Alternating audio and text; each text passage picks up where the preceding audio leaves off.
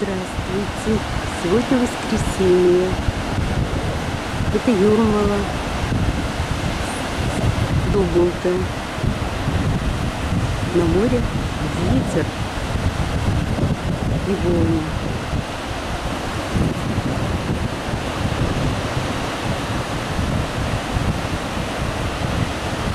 Познаем Юрмалу в.